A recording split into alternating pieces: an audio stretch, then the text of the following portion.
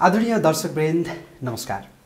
कार्यक्रम talk with the टपमा यहाँहरू सम्पूर्णमा स्वागत गर्छु। म कार्यक्रम प्रस्तुता मनोज नेउपाने दर्शकवृन्द पछिल्लो समय देशमा स्थानीय निर्वाचन स्थानीय तहको निर्वाचन नजिकिएको छ र यसले राजनीति निकै गरमाएको छ। यसै सन्दर्भमा आज मसँग कार्यक्रममा कुराकानीका लागि मसँग हुनुहुन्छ नेकपा एमालेका वरिष्ठ उपाध्यक्ष ईश्वर पोखरेल। आउनुहोस् उहाँलाई कार्यक्रममा स्वागत गरौँ। यहाँलाई कार्यक्रममा स्वागत छ। हजुर धन्यवाद। नेकपा एमालेको पछिल्लो समय स्थानीय तहको निर्वाचन केन्द्रित गतिविधि तीव्र छ। तथापि निर्वाचन नहुने हो कि भनेर आशंका पनि उत्तिकै छ। किन?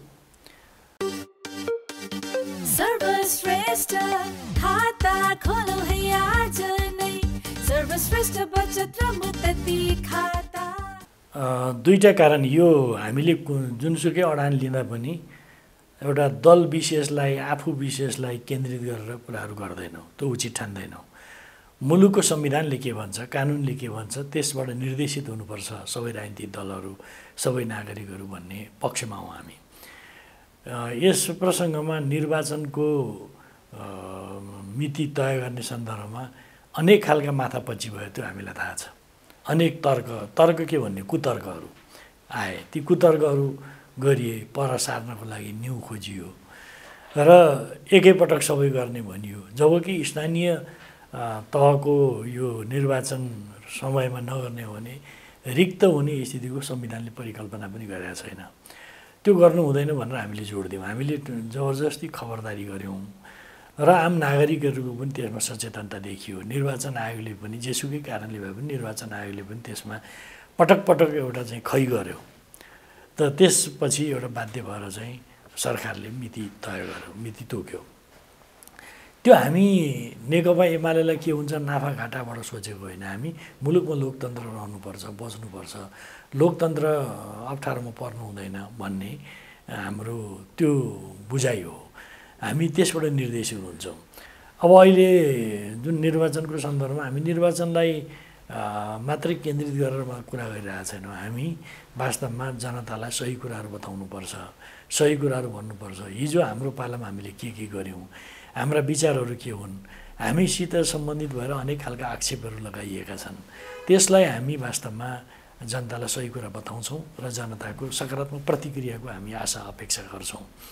अब अहिले निर्वाचनको सन्दर्भमा स्वाभाविक निर्वाचन आउँदैछ राजनीतिक दलहरूले निर्वाचनमा आफ्ना आफूले गरेका कुराहरू जस्ताको तस्तै जनतालाई भन्ने बुझ्ने गरी भन्ने पत्याउने गरी भन्ने र आउने दिनमा हामी के गर्छौँ भन्ने कुराहरू पनि बताउने।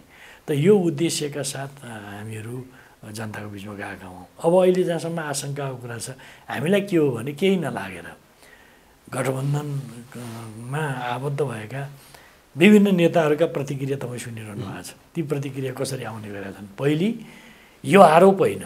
निर्वाचनलाई स्थानीय तहको निर्वाचनलाई टार्ने टार्न नसके सार्ने। यो त कोसिस हो नि। प्रचण्डले गर्नु भएन कि माधव नेपालले गर्नु भएन कि। सबै अनेक तर्क कुतर्कहरू गर्दै यी कुराहरू त आए। तर केही नलागेपछि यो वैशाख तिसको मितिमा उहाँहरू त्यसमा अहिले आउनु भएको छ। तर हामी के बुझ्दैछौँ भने भित्रभित्रै अझै केही न्युमा कुनै बाहनामा यो भएन त्यो भएन भनेर एउटा त्यसलाई प्रभावित बनाउने पर सार्ने कोसिस गर्ने अनि बर्खा लाग्छ हुँदैन भने पछि असोजमा पुर्याउने अनि एउटा छ नि यो तिन तहमा तिन चरणमा भएको हुनाले अन्तिम चरणमा टेक्न टेक्नको लागि अदालतको सहारा लिने।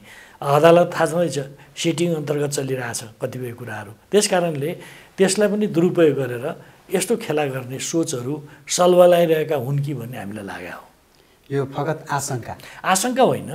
यो के हो भने जुन क्रियाकलापहरू देखिएको छ जस्ता अभिव्यक्तिहरू आएका छन् जस्ता हरकतहरू देखिएका छन् त्यस आधारमा हामी के यो अन्दाज गर्न सक्छौँ। तर हामी त्यस्ता खाले कुनै पनि षड्यन्त्रलाई चल्न दिन्नौँ त्यो षड्यन्त्रहरूलाई हामी अगाडि बढ्न दिन्नौँ त्यो षड्यन्त्रको विरुद्धमा हामी आम जनताको बिचमा जान्छौँ र खबरदारी गर्छौँ। तपाईँले अदालतको पनि कुरा थोरै उठाइहाल्नुभयो। त्यस पछाडि यता निर्वाचन आयोगको कुरा पनि छँदैछ। खासमा नेकपा एमालेलाई चाहिँ संवैधानिक निकायप्रतिको यो अविश्वास किन फेरि यसमा तपाईँले। तपाईँले सोलो डोलो जिज्ञासा राख्नु हो भने यसको उत्तर हुँदैन। कुरो के हो भने संवैधानिक निकायहरूप्रति अविश्वास राख्नु हो।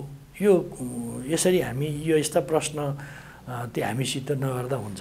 हामी सबै संवैधानिक निकायको कुरा होइन। इस्यु वाइज हामी विषय आधारित भएर विषय केन्द्रित भएर ठिक वा बेठिक भनेर कुरा गर्छौँ। अदालतको होस् वा अरू संवैधानिक निकायका बारेमा हाम्रो यही दृष्टिकोण। तपाईँ भन्नुहोस् न अहिले निर्वाचन आयोगले के अरे भन्दा हरियो राखेर हरियो राखेर चुनाव चिन्ह ल्याउने। नेपाली हिमालको जडीबुटी यति शक्तिशाली छ जसले सम्पूर्ण बिरामीलाई निको बनाउन सक्दछ। वैदिक आयुर्वेद सेवा प्रणालीमा नेपाली जडीबुटीबाट बनेका आयुर्वेद औषधिद्वारा उपचार गरिन्छ। आयुर्वेद र योग प्राकृतिक चिकित्साद्वारा क्यान्सर किडनीको रोग प्यारालाइसिस सन्चै हुन भनिएका रोग पनि सन्चो हुन सक्दछ। दाइ र मैले चाहिँ एकदम लास्ट अवस्थामा आयुर्वेदिक लिएर गयो। लिएर गएपछि चाहिँ उहाँ डक्टर साहब उहाँ बुवालाई मैले एकदम आत्माबाट धन्यवाद शुभकामना र उहाँ जस्तो भलो मान्छे कोही पनि मेरो सानीमालाई बचाइदिनु भयो। उहाँलाई मेरो मेरो धन्यवाद छ। आयुर्वेदिक दबाईले म भएको छ किन बाबु? अँ, त म योपल्टि आम्ला नि भनेकी थिएँ। यहीँ अब दुःख पाउनु भयो खोजी खोजी आउनुभयो। अँ, तर म त डाँडो काटेर आएँ। डाँडो काटेर आएँ। तर आयुर्वेदिक दबाईले म बचेँ तपाईँले ठ्याक्कै भनिरहँदाखेरि म प्रसङ्गमै आउँदै थिएँ। खासमा निर्वाचन आयोगको म- इतिहासलाई थोरै भन्छु। इतिहासलाई हेर्ने हो भने दुई हजार पन्ध्र सालबाट निर्वाचनको अभ्यास भयो नेपालमा र चाहिँ त्यसपछि रातो कालो निलो हरियो चारवटा रङ प्राय एकपछि अर्को प्रयोग गरिँदै आएको छ। तर योभन्दा अगाडि त विरोध भएको थिएन। होइन यसमा फेरि तपाईँले त्यसलाई जेनरलाइज गर्नुभयो मिनिमाइज गर्दै हुनुहुन्छ। कुरो के हो भने पहिले गर्नुभएको थिएन पन्ध्र सालदेखि तपाईँ याद गर्नुहुन्छ। बाबा कुनै पनि कुराहरू यस्ता कतिपय निर्वाचन भनेपछि स्वतः राजनीतिक दलहरूको लागि महत्त्व राख्ने संवेदनशील विषय पनि हुन्। निर्वाचन आयोगको कर्तव्य हुन्छ कतिपय यस्ता नयाँ ढङ्गले सोच्नु पऱ्यो निर्णयमा पुग्नु पऱ्यो भने राजनीतिक दलहरूको परामर्श। दलहरूसित कुनै परामर्श गरेका छैन फटाफट फटाफट गर्ने खालका कुराहरू। अनि के के गर्न खोजेको? त्यो सबै हरियो हरियो हरियो हरियो बनाउन खोजेको कि? स्वाभाविक चाहिँ प्रश्न उठ्छ। होला नहोला तर प्रश्न त उठ्छ नि। जस्तो एउटा सिलसिला चलिराखेको छ जसरी सेटिङमा विभिन्न संवैधानिक निकायहरू समेत यो गठबन्धनले सेटिङ अन्तर्गत सबै कुराहरू प्रभावित बनाउने जो एउटा अभ्यास गर्दैछ यो अभ्यासको सन्दर्भमा वास्तवमा यो कुराहरू किन त्यसो गरेको होला भन्ने प्रश्न त उठ्ने भयो नि। एउटा यो। दोस्रो कुरा के हो भने राजनीतिक दलहरू निर्वाचनका उनीहरू त्यसका ती पार्टिसिपेन्ट्स हुन्। अनि निर्वाचनका सहभागी हुनेहरूलाई सरोकारवालाहरूलाई कुनै सरसल्लाह परामर्श आखिरमा राय विचारहरू त बुझ्दा त हुन्थ्यो केही नगरिकन त्यो कुरा गर्ने खालको कुराले आशंका पैदा गरे हो। भनेपछि दलसँग चाहिँ छलफल नगरिकन भएका निर्णयमाथिको प्रश्न मात्रै हो। दुईवटा कुरा। यसमा चाहिँ एउटा यसको एउटा सप्रसङ्ग कन्सपिरेसीको षड्यन्त्रको सेटिङको सिलसिला छ त्यसलाई बिर्सन मिल्दैन एक। दोस्रो कुरो जब निर्वाचन यति संवेदनशील विषय हो निर्वाचन आयोगले त्यसलाई लिड गर्ने हो कन्डक्ट गर्ने हो निर्वाचन आयोगले नेतृत्व गरेर त्यसलाई सम्पन्न गर्ने हो भनेपछि अनि सरोकारवाला पक्षहरूसित साना मसिना खालका कतिपय कुरामा पनि उसले बोलाउँदा त आइहाल्छन्। किन छलफल गरेन? किन परामर्श गरेन? किन सेयर गर्दैन? अनि फटाफट गर्ने? अनि के हो भन्दाखेरि कहीँ यो सबै सेटिङमा त चलिरहेको छैन। त्यसमा मैले जोड्ने अर्को पनि छ जस्तो चाहिँ उम्मेदवारी दर्ता गर्दाखेरि एघार र बाह्र गते दुई दिनको समय सीमा दिएको छ। यो स्वाभाविक यसमा पनि यसमा पनि छ। म भन्दै थिएँ। अब उम्मेदवारी दर्ता कहीँ नभएको। तपाईँ कुन सालदेखि चाहिँ गणना गर्नुहुन्छ? दुई दिन उम्मेदवारी दर्ता गर्ने। यो कुन तर्कको आधारमा गरेको? के गर्न खोजेको यो? त्यो कुरा के हो भने गठबन्धनवालाहरूको उम्मेदवारीको कहाँ कसले अघिल्लो दिन एकै दिन हुँदाखेरि त समस्या पैदा हुनसक्छ अनि त्यसपछि फलानाले फलाना ठाउँमा दियो कि दिएन भन्ने खालको कुरा कहाँ कहाँ कसरी सेटिङ भयो त्यहाँ नमिलेपछि अर्को ठाउँमा मिलाउने अथवा यहाँ मिलेन भने त्यहाँ मिलाउने यहाँ अब भन्ने खालको कुरा होइन कहीँ नभएको कहिले नभएको अभ्यास निर्वाचन हुने एक दिन उम्मेदवारी दिने दुई दिन। यो निर्वाचन आयोगको यो कुन कुन सोचबाट निर्देशित भएको हो यो? यो त प्रष्ट कुरा के हो भने यो सिरिज अफ इभेन्ट्सहरू हेर्दाखेरि यो सेटिङका यो दुर्गन्धहरू हामी देखिरहेछौँ पाइरहेछौँ। त्यो से यो सेटिङ अन्तर्गत यी सबै चिज त भइरहेको छ नि। तपाईँ चुनाव चिन्हको कुरा परामर्श गर्दैन। चिन्हको रङको कुरा गर्छ उम्मेदवारी दर्ताको कुरा गर्छ होइन? यो यो सबै चिज फर वाट के को लागि। त भन्दाखेरि निर्वाचन आयोगलाई गठबन्धनवालाहरूले त्यो चाहिँ प्रभावित बनाउने निर्देशन गर्ने आफ्नो चाहिँ दुराशयहरूलाई त्यहाँ इम्पोज गराउने यस्ता कुरा त भइरहेको छैनन्। आशंका छ। अब यो तपाईँहरू प्रश्न उठाइराख्नु भएको छ नि यसको के समाधान होला अथवा यही गतिले जाला? तपाईँहरूले एउटा प्रक्षेपण त गर्नुभयो होला, यसो गर्छौँ हामी चल्न दिन्नौ एउटा कुरा यो दोस्रो के हो भने जस्तो हामी निर्वाचन आयोगमा गम्भीरताका साथमा कुरा उठाउँछौँ र यस्ता खाले हरकतहरू खबरदार नगर तिम्रो आफै तिमीले आफ्नो इन्टिग्रिटीमा बस्नुपर्छ भनेर हामी कुराहरू गर्छौँ। यसमा त सिरिज अफ कुराहरू छन् प्याकेजमा कुराहरू छन्। ती बिस्तारै बिस्तारै प्रकट गर्ने प्रकट हुने प्रकट गराउने देखाउने यस्ता खालका चालहरू हुन सक्छन्। त्यस कारणले हाम्रो भनाइ के हो भने यस्ता लोकतन्त्रमा ट्रान्सप्यारेन्ट ढङ्गले गर्नु पऱ्यो जनताप्रति जवाबदेही हुनु पऱ्यो राजनीतिक दल त्यसका प्रत्यक्ष सम्बद्ध हुन् भने त्यो राजनीतिक दलहरूसित परामर्श गर्नु पऱ्यो कुरो त यो हो नि। अब निर्वाचन केन्द्रित हौँ होइन? निर्वाचन आयोगसँगको तपाईँहरूको समस्या बाँकी नै छ। तपाईँले भने जस्तै समाधान गर्छौँ रोक्छौँ भन्नुभयो भनिसक्नु भएको छ। कुन हिसाबले जानुहुन्छ त्यो देखिँदै जाला भविष्यमा। अब स्थानीय निर्वाचनमा एमाले हामी एक्लै लड्छौँ। हामी कोहीसँग डराउँदैनौँ र सत्तरी प्रतिशतभन्दा माथि चाहिँ नतिजा निकाल्छौँ भनेर घोषणा गरिसकेको अवस्था छ। यद्यपि चाहिँ स्थानीय तहमा तालमेलको चर्चा पनि उत्तिकै चलेको छ होइन? यो आफूमाथिको विश्वास नभएको हो कि भन्ने आलोचना अथवा त्यसमा बढेको छ के भन्नुहुन्छ? यसमा के हो भने तपाईँले जुन अघिल्लो कुरा गर्नुभयो हामी रोक्छौँ। हामीले अघिका अघिको प्रसङ्ग मैले जोडेर यसमा आउन चाहन्छु। कुरो के हो भने हामी यस्ता गलत कुराहरूप्रति खबरदारी गर्छौँ। यो सिलसिला यस्ता सिलसिला फेरि नदोहोरिउन् भनेर हामी चाहन्छौँ। होइन? र यी कुराहरूलाई हामी सावधानीपूर्वक हेर्दैछौँ अगाडि नबढुन् भन्ने चाहन्छौँ। हाम्रो खबरदारी जारी रहन्छ एउटा कुरा यो हो है यसलाई यसरी बुझ्नु पऱ्यो र अहिलेसम्म गरेका कुराहरूलाई जनताको बिचमा पनि हामीले एक्सपोज गर्नुपर्ने हुन्छ। जनतालाई सचेत बनाउने मतदातालाई सचेत बनाउने विषय पनि गर्नुपर्ने हुन्छ। एउटा कुरा यो हो। जहाँसम्म निर्वाचनको यो तालमेल आदि इत्यादि हामी एक्लै लड्ने सत्तरी प्रतिशत एकदम क्लियर कुरा। तपाईँ आजको मितिमा मसित अन्तर्वार्ता गर्दै हुनुहुन्छ। तपाईँ यो बुझिरहनुहोस्। एमाले एक्लैले बहुमत ल्याउँछ। यो क्लियर कुरा। एमाले एक्लैले बहुमत ल्याउँछ। जो जसको जसको खुट्टा दह्रो छ नि उसले बैशाखी खोज्छ।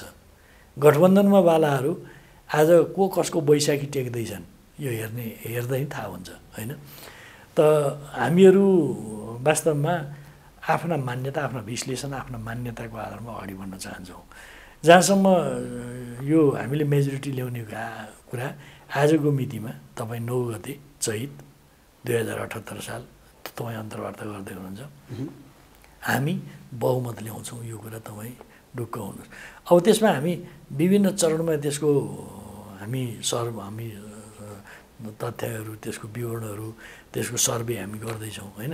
हामी बहुमत ल्याउँछौँ प्रष्ट कुरा दोस्रो कुरा तालमेल हुन्छ कि हुँदैन? यो तालमेल कुनै फेरि किन डराउनु भएको? डराएर होइन भाइ। यो हामीले प्रष्ट कुरा हामी कुनै गठबन्धन बनाउँदैनौँ। हामी कहीँ कतै बैशाखी टेक्दैनौँ। एकदम यो बोल्डमा तपाईँले बुझ्नु होला हामी गठबन्धन गर्दैनौँ एक दोस्रो कुरा अब इलेक्सनमा लोकल एरे एडजस्टमेन्टको कतिपय कुराहरू हुनसक्छ कहीँको कहीँको। तपाईँ अहिलेको कुरा गर्नुहुन्छ अडचालिस सालको निर्वाचन सम्झिनुहोस् त। अडचालिस सालको त्यस बेलाको एकदम चाहिँ क्रान्तिकारी धारबाट आएको एमाले त्यस बेला अडचालिस सालको चुनाव लड्दा मदन भण्डारी काठमाडौँको क्षेत्र दुईवटा क्षेत्रमा उठ्नु भएको थियो। कृष्णप्रसाद भट्टराईजी पनि यहाँ काठमाडौँ क्षेत्रमा एकबाट उठ्नु भएको थियो। मनमोहन अधिकारी सुनसरी क्षेत्र नम्बर एकबाट उठ्नु भएको थियो। त्यहाँ सिट एडजस्टमेन्टको कुरा पनि आएको थियो। त्यसबेला हामी एमालेहरू कति लचक थियौँ भने त्यो रेसिप्रोकेट हुनुपर्छ। त्यो भनेको के हो भने हाम्रो एमालेको अध्यक्ष मनमोहन अधिकारी सुनसरीमा लड्नु भएको छ। त्यहाँ सुनसरीमा नेपाली काङ्ग्रेसको सामान्य साथी उठेका छन्। उहाँले फिर्ता गर्नुहोस्। म पनि म एमालेको महासचिव दुई ठाउँमा उठेको छु भने म एक ठाउँमा छोड्छु किसुनजीलाई कहाँ कम्फर्टेबल हुनुहुन्छ त्यहाँ छोडिदिन्छु। तर रेसिप्रोकेट हुनु पऱ्यो भन्दाखेरि काङ्ग्रेस हामी त सिट एडजस्टमेन्ट किनभने निर्वाचनमा जाँदा स्थानीय आवश्यकता अनुसार सिट एडजस्टमेन्टका कुराहरू हुन्छन्। होइन? यो काङ्ग्रेसले त्यसले दम्ब त्यस बेला दम्बपूर्ण भन्यो। स्वर्गमा चुनाव लडे पनि काङ्ग्रेस जित्छ नरकमा चुनाव लडे पनि जित्छ भन्यो। दुर्भाग्य भयो मैले के भन्न खोजेँ भने हामीहरू पहिलो कुरा गठबन्धन गर्दैनौँ एक्लै चुनाव लड्छौँ।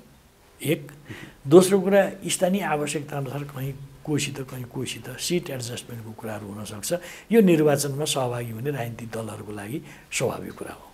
तर तपाईँहरूको जस्तो शीर्ष नेतृत्वको भेटघाट अन्य राजनीतिक दलका नेताहरूसँगको भेटघाटले त त्यो आशंका गरिन्छ नि। जस्तो आजकै कुरा। गर्ने हो भने पनि पियास गुरुङले भेट्नुभएको चाहिँ? बाबुराम भट्टराईलाई भेट्नुभएको? विषय होइन? पृथ्वी सुब्बा गुरुङले भेट्नुभएको यस्ता विषयहरू त आशंका जन्माउँछ होला नि होइन आशंका होइन राजनीतिक दलका नेताहरूले जस्तोसुकै अवस्थामा पनि नेपालमा एउटा के कल्चर छ भने जतिसुकै विभेद भए पनि भेटघाट कुराकानी हुन्छ। हाम्रो पार्टी अध्यक्ष एउटा गठबन्धनको षड्यन्त्रपूर्ण योजना अन्तर्गत अपदस्थ भ- हुनु भए पनि बालवाटारमा जानुभयो शेरबहादुर देव भए- बा बालकोट जानुभयो होइन? त भन्दाखेरि यी कुराकानी त हुन्छन् हाम्रा आफ्ना मुद्दा छन् हाम्रा आफ्ना इस्यु छन्। हामी त्यो वेल कल्चर्ड ढङ्गले प्रस्तुत हुन चाहन्छौँ। त्यस कारणले हाम्रो कोही पनि नेताको कोही पनि नेतासित भेटघाट हुने कुराहरू त्यसलाई अस्वाभाविक मान्नु हुँदैन। तर एउटा कुरा फेरि म रिपिट गर्न चाहन्छु यो निर्वाचनमा हामी गठबन्धन बनाउँदैनौँ। कुनै पनि किसिमको गठबन्धन बनाउँदैनौँ। हामी एक्लै चुनाव लड्छौँ। बहुमत ल्याउँछौँ। हामी बहुमत ल्याउँछौँ गठबन्धन बनाउँदैनौँ। हामीमा हामीलाई के छ भने आफ्ना खुट्टामाथि भर विश्वास छ। हामी बैशाखी टेकेर उभिन सा- चाहँदैनौँ। तपाईँले यसरी भनिराख्दाखेरि चाहिँ अब स्थानीय निर्वाचनमा जाँदाखेरि चाहिँ ठ्याक्कै एमालेलाई यो यो कारणले मत हाल्ने भनेर कसरी भन्नुहुन्छ? यसमा दुई तिनवटा कुरा छन्। एउटा यसबिचमा नेकपा एमालेको नेतृत्वमा अ, भएका कामहरू जुन छन् ती कामहरू कहीँ लुकाउनु पर्दैन कहीँ बनावटी ढङ्गले भन्नु पर्दैन। ती जस्ता तस्तै कामहरूलाई हामीले जनताले बुझ्ने गरी पत्याउने गरी हामीले प्रस्तुत गर्नुपर्छ एउटा कुरा यो दोस्रो कुरा हामी स्थानीय तहलाई सबल बनाउनको लागि फ्रम द भेरी बिगिनिङ दुई हजार सैँतालिस सालमा त्यसबेला अन्तरिम संविधान जारी हुँदाखेरि मदन उन्नारीले त्यसबेलाको संविधानमा आलोचनाका सत्ताइसवटा बुँदा जो जारी गरिरहँदा हामी कसरी स्थानीय तहलाई इम्पावर गर्न चाहन्छौँ भन्ने हाम्रा दृष्टिकोणहरू हाम्रा प्रस्तावहरू त्यहाँ पनि छन्। दुई हजार चौन्न सालमा हामीले हाम्रै नेता मन्त्री भवन हुनुभएको बेलामा त्यो स्थानीय विकास मन्त्रालयको तर्फबाट प्रस्ताव नै ल्याइयो र यो हामीले स्थानीय तहलाई इम्पावर गर्नुपर्छ भन्ने खालको कुराको एउटा हिजोदेखिको क्रोनोलोजिकल लिगेसी छ हामीसित। है त्यो कुरा हामीले जनतालाई बताउनुपर्छ। दोस्रो कुरा हाम्रा स्थानीय तहमा निर्वाचित भएका प्रतिनिधि साथीहरूले गरेका कामहरू त खुलै छन् नि। त्यो कुनै बनावटी डेन्टिङ पेन्टिङ गरेर भन्नुपर्ने विषय त होइन। हामीले के गरेका छौँ? पूर्वाधारको सन्दर्भमा के गरेका छौँ? शिक्षा र स्वास्थ्यमा हाम्रा साथीहरूले प्रतिकूलताको बावजुद पनि के के गर्नुभएको छ? ती सबै छन् नि। ती सबै चिजहरू जनताको बिचमा सङ्गठित ढङ्गले लैजानुपर्छ। त्यस कारणले म के भन्न चाहन्छु भने हाम्रो हाम्रा विचारहरूको आधारमा हाम्रा कामहरूको आधारमा हाम्रा योजनाहरूको आधारमा हामीले के के गऱ्यौँ? जनतासित हामी आई टु आई कुरा गर्छौँ। हामी आउने दिनमा के गर्छौँ? जनतासित हामी आई टु आई कुरा गर्छौँ।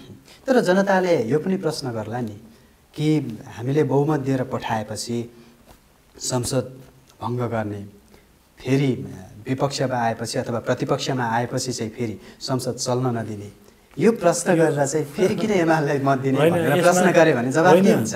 एउटा नबुझ्नेहरू या पूर्वाग्रहबाट पीडित भएकाहरूले यस्तो खालको कुरा गर्छन्। नबुझ्नेहरूले पनि हुनसक्छन् या पूर्वाग्रही एमालेलाई हेर्ने दृष्टिदोषीहरूले पनि यस्ता कुरा गर्छन्। जस्तो भनौँ एउटा कुरा के बुझ्नु पऱ्यो दुई हजार चौहत्तर सालको निर्वाचनमा नेकपा एमालेको बहुमत होइन। यो बुझिराखौँ। एक सय एक्काइस सिट हो जम्मा बहुमत होइन हो। माओवादीसित चुनावमा तालमेल गरेर वाम तालमेल गर्दा बहुमत भएको हो। पछि उपेन्द्र यादवजीको पार्टी समेत पनि सरकारमा सामेल भइसकेपछि हामीलाई थप कम्फोर्टेबल भएको हो होइन त? यति नै हो। जब त्यो वाम तालमेलै टुट्यो पार्टी एकता पछि हामीले गरिसक्यो पार्टी एकता नरहेपछि त स्वतः हामी त अल्पमतमा त पऱ्यौँ एक होइन? हामी बहुमत थिएन त्यसमध्ये केही मान्छे चोइटिएपछि अहिले पनि हाम्रो अन्ठानब्बेजना हुनुहुन्छ सबभन्दा लार्जेस्ट पार्टी हामी नै छौँ। एउटा यो वास्तविकता बताउनुपर्छ। मान्छेलाई भन्दा भन्दै भन्दा भन्दै दुई तिहाई ल्याएको थियो बहुमत ल्याएको थियो भन्दा अरे भाइ कहाँ दुई तिहाई कहाँ बहुमत? हामी एमालेहरू त हामी त लार्जेस्ट पार्टी त रह्यौँ तर बहुमत हुन सकेका थिएन जेसुकै कारणले होस् एउटा कुरा यो दोस्रो कुरो अहिले संसद चल्न नदिएको भन्ने खालको कुराप्रति पनि हामीले पटक पटक हाम्रा नेताहरूले हामी सबैले पटक पटक तथ्यको आधारमा हामीले कुराहरू गरेका छौँ। त्यो के हो त भन्दाखेरि हामीले सभामुखको भूमिका जुन छ अपराधपूर्ण काम गरे। गठबन्धनको एउटा मतियार भएर अग्निप्रसाद सापकोटा प्रस्तुत हुनुभयो। उहाँ सभामुख जो निष्पक्ष हुनुपर्छ। कुनै दलसित उहाँसितको आबद्धता राख्नु हुँदैन। उहाँ गठबन्धनको मतियार भएर प्रस्तुत हुनुभयो। जस्तो भनौँ। पुष्पकमल दाहालले या उपेन्द्र यादवजीहरूले खर्र चिठी लेखेर पठाइदिँदा सरिता यादव निष्कासन हुन्छन्। टोपबहादुर रायमाझी प्रभु शाहहरू निष्कासन हुन्छन्। लेखराज भट्टहरू निष्कासन हुन्छन्। नेकपा एमाले सबभन्दा ठुलो पार्टीले आफ्नो संसदीय दल पार्टी केन्द्रीय कमिटीको बैठकबाट औपचारिक निर्णय गरेर पठाइसकेपछि अग्नि सापकोटा को हुन् जसले तजबिजी कुरा गर्छन्? त्यस कारणले हामीले के दुईवटा कुरा भनेका छौँ। या त त्यो ठिक छ उहाँले हिजो गर्नु भने ढिलो गर्नु त्यो टाँस्नु पऱ्यो एक। यदि टाँस्नुहुन्न भने उहाँले मार्ग प्रशस्त गर्नु पऱ्यो यो हाम्रो कुरा दृढतापूर्वक हामी हामीले उठायौँ राखिरहन्छौँ। नत्र त प्रारम्भमा त यो चिज थिएन नि। संसद पुनर्स्थापनमा ठिक छ। हाम्रो मान्यता संसद विघटन गर्नु हाम्रो औचित्य थियो भने हामी भनिरहेको थियौँ। अदालतले त्यसलाई पुनर्स्थापित गर्यो। त्यसमा त हामीले कुनै समस्या गरेका थिएन। हामी त एज युजल पार्लियामेन्टमा त थियौँ। तर यो विषय उठेपछि त यो विषयको बारेमा जवाफ दिनुपर्छ पर्दैन। म भन्छु सभामुख अग्नि सापकोटा अग्नि सापकोटाजीको ठाउँमा अरू कोही भए पनि गठबन्धनको या कुनै पार्टीको मतियार भएर प्रस्तुत हुनुहुन्छ भने उहाँले सभामुखको गरिमालाई कायम राख्न सक्नु भएन। त्यो विरोधयोग्य कुरा हुन्छ। तपाईँले यसो भनिरहँदाखेरि त्यसको निष्कर्ष नै ननिस्किकन संसद अधिवेशन यो पटकलाई त्यही त विचित्र छ। तपाईँ भन्नुहोस् न तमासा महाभियोग दर्ता गरे महाभियोग दर्ता गरेर छलफल समिति बनेको छ। त्यो समितिमा पार्लियामेन्टमा सामान्य छलफल भएर त्यहाँ ह्यान्डओभर गर्नु पर्थ्यो समितिलाई पठाउनु पर्थ्यो त्यो पनि नगरी अचानक छापामार तरिकाले पुष्पकमल दाहाल प्रचण्डको योजनामा माधव नेपालको योजनामा शेरबहादुरजीको के हो बुझ्नु चाहिँ बुझ्नु न थाहा छैन है त्यो योजनामा संसद स्थगन गरिरहेछ भनेपछि कस्तो भने यो गठबन्धनकारी शक्ति वास्तवमा मुलुकमा पोलिटिकल स्टेबिलिटी चाहँदैन आर्थिक विकास र समृद्धि चाहँदैन राष्ट्रिय स्वाभिमान र स्वतन्त्रताको पक्षमा दृढतापूर्वक उभिँदैन। म यसका सबै दृष्टान्तहरू बताउँला सामाजिक सद्भावलाई कमजोर बनाउँछ। देश बनाउने सपनाहरूलाई जागृत हुन दिँदैन। यो उद्देश्यका साथ यसले संविधानको भरखिलाप काम गर्छ कानुन विपरीत काम गर्छ र मुलुकको हित विपरीत काम गर्छ। त्यस कारणले यो गठबन्धनको विरुद्धमा आम जनतालाई हामीले हाम्रा कुराहरू भन्नुपर्छ हाम्रा दृष्टिकोणहरू हाम्रा विचारहरू। भन्नुपर्छ तपाईँले यो भनिराख्दाखेरि नेकपा एमाले चाहिँ संसद अवरोध कायम राखेर चाहिँ जसरी हिजो प्रधानमन्त्री पूर्व प्रधानमन्त्री रहनुभएका अथवा चाहिँ पार्टी अध्यक्ष केपी शर्मा ओलीले जसरी संसद भङ्ग गर्नुभएको थियो र त्यो अदालतबाट असफल प्रमाणित भइसकेपछि चाहिँ त्यसलाई नै जस्टिफाई गर्नका लागि निरन्तर अवरोध गरेको यसमा आलोचना। यसमा तपाईँ क्लियर हुनुहोस् के हो भने अदालतले राजनीति मुद्दाहरूमा अदालतले फैसला दिएका कुराहरू मान्नुपर्छ भन्ने छैन। हामी ती कुराहरूप्रति हाम्रा आफ्ना रिजर्भेसन छन्।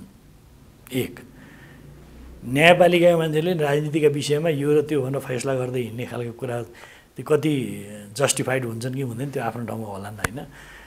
अदालतले पनि संविधान तहत रहेर अन्तर्गत रहेर काम गर्ने हो।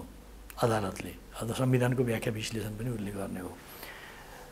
तर राजनीतिक मुद्दाहरूमा त्यो राजनीतिक पार्टीहरूले विश्लेषण गर्ने हो दृष्टिकोण बनाउने हो।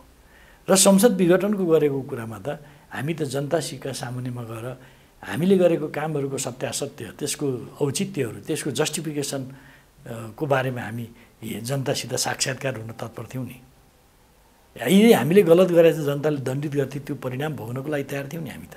त्यस कारणले मेरो भनाइ के हो भने अब संसद विघटन गरेको ठिक छ नि त जाँचिन दिनु पर्थ्यो नि त। अहिले त्यसपछि संसद भयो के त? संसदले के गरिरहेको छ एक?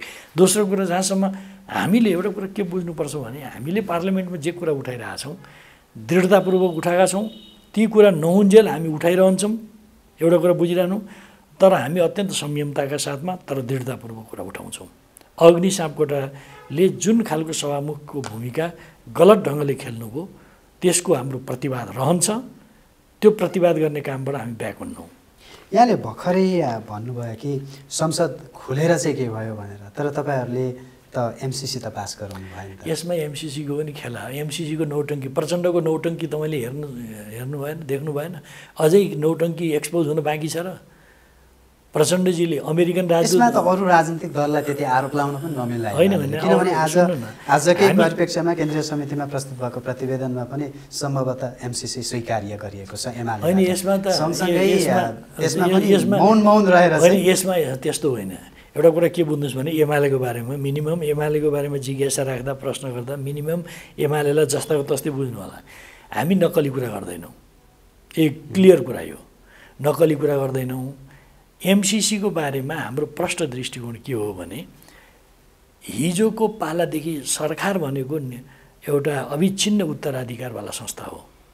हिजोको सरकारले एउटा अन्तर्राष्ट्रिय सङ्गठन संस्थासित डोनर एजेन्सीहरूसित विधिवत रूपमा सम्झौता गरेका छ। पछि अर्कैको सरकार बने पनि त्यो सम्झौताको परिपालना हुनुपर्छ। त्यो अविच्छिन्न उत्तराधिकारवाला संस्था हो।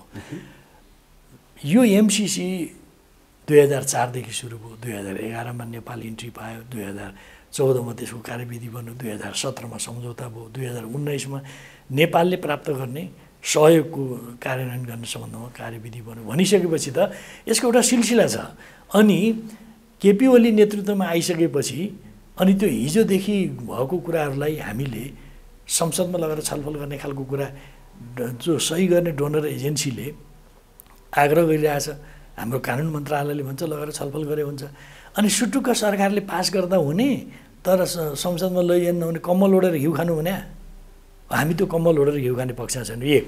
दोस्रो कुरो एमसिसीको बारेमा हाम्रो कहिले नेगेटिभ धारणा पनि भने कतिपय साथीहरूले आफ्नो वैयक्तिक विचारहरू बोल्नुभयो भन्नुभयो तर हामी के भन्छौँ भने एमसिसीको बारेमा त जस्तो पछिल्लो समयमा हामीले के भन्यौँ?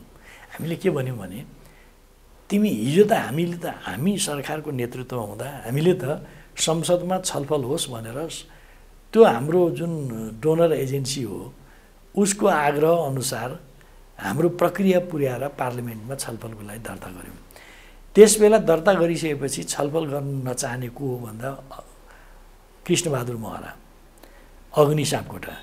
उहाँहरू दुवैजना कसको त भन्दाखेरि प्रचण्डको निर्देशनमा यो धन्दा गर्दै हुनुहुन्थ्यो उहाँहरू प्रचण्डको निर्देशनमा गर्दै हुनुहुन्थ्यो। किन गर्दै हुनुहुन्थ्यो प्रचण्डले के थाहा पाउनु के सोच्नुभयो भने यो एमसिसीको कार्ड प्रयोग गरेर ए केपी ओलीलाई ताच्न सकिन्छ कि भन्ने उहाँको षड्यन्त्रपूर्ण दाउ थियो।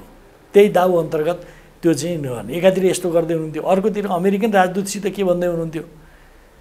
केपी ओली ढ- लाई ढलिसकेपछि पास गर्ने जिम्मा मेरो हो भन्दै हुनुहुन्थ्यो। मैले यो भनेको कुरा तपाईँलाई पत्यार नलाग्ला। यसको पछिल्लो पुष्टि कति बेला हुन्छ भने एमसिसीलाई लेखेको चिठीले त पुष्टि गर्छ नि। स्थानीय चुनावपछि पास गरौँला नि भनेको हो कि नि प्रचण्डले। स्थानीय चुनावपछि पास गरौँला। चुनाव बिग्रिन्छ त्यस कारणले चुनावपछि पास गरौँला। हामी पास गर्छौँ क्या गठबन्धनका कतिपयलाई चित्त बुझाउनु छ अहिले हाललाई यो हामीलाई समय दिनु न चार पाँच महिना भनेर मागे हो कि होइन? अनि त्यो चिठी लेख्ने कुन कुन तरि कारणले त्यो चिठीले पठाएको एक्सपोज भयो मिडियामा आयो। हुँदै होइन पठाएकै होइन मरिजाउँ होइन प्रधानमन्त्री शेरबहादुर देउवाले झुट बोल्यो भनेर बोल्ने प्रचण्ड हो कि होइन? त्यो त भिडियो छ नि सबै। तपाईँको रातो पार्टीले त्यो भिडियो प्रसारण छ कि छैन? गरे हुने नि। मेरो भनाइ के हो भने अनि भन्ने पछि त अमेरिकनहरूले चिठी नै छापिदियो जम्मै। सबै कुरा रहेछ। लाज शरम छ कि छैन? कार्यकर्तातिर हेऱ्यो एउटा कुरा जनतातिर हेऱ्यो अर्को कुरो विदेशीतिर हेऱ्यो एउटा कुरा। कति सकेको खैर अब एमसिसी पास भइसकेको छ त्यस कारणले हाम्रो कुरा यसमा क्लियर के हुनु हामीले एमसिसी एउटा प्रक्रियाबाट विधिसम्म ढङ्गले अगाडि बढिसकेको कुराप्रति कहिले पनि हामी नकारात्मक रहेन। मैले अघि भन्दै थिएँ गठबन्धनको पोजिसन छैन। गठबन्धनमा तमासा के थियो एमसिसीको बारेमा अलि पहिले भने पास हुने नाटकभन्दा पहिले भने गठबन्धनको काले एउटा भन्छ भाले एउटा भन्छ गोरे एउटा भन्छ खैरे अर्को भन्छ तमासा त थियो नि। हामी के भन्दै थियौँ हामी त प्रमुख प्रतिपक्षी थियौँ। भन्दै थियौँ हामीले अरे भाइ तपाईँहरूको पोजिसन के हो? भन बोल न गठबन्धन बोल न। गठबन्धन बोल गठबन्धन त एउटै स्वरमा बोलिरहेको थिएन हामी त्यो भन्दै थियौँ। जहाँसम्म पार्लिमेन्टमा प्रस्तुत गरेर हाम्रा मुद्दा हामी के गर्थ्यौँ भन्ने खालको कुरा हाम्रा मुद्दालाई एड्रेस गरिसकेपछि हामी के गर्थ्यौँ भन्ने कुरा त हामी भाग्दैन थियौँ नि। या प्रचण्डजीले जस्तो नक्कली चिठी त पठाउँदैन थियौँ नि।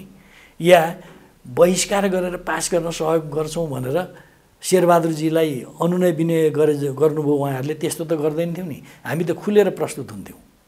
र हामी एमसिसीलाई त्यो पास गर्ने कुरामा बाह्र सत्ताइस कुरा गर्नुपर्छ भन्ने पक्षमा थिएनौँ हामी। हामी होइनौँ। त्यसमा अलिअलि पन्यालो पन्यालो बनाएर गऱ्यौ।